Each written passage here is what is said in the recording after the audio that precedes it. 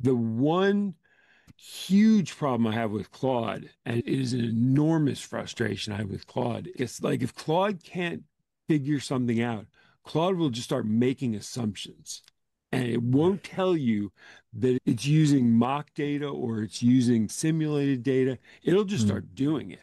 And Yeah. I had one last night where I was trying to extract data from a complex image that had a repeated pattern.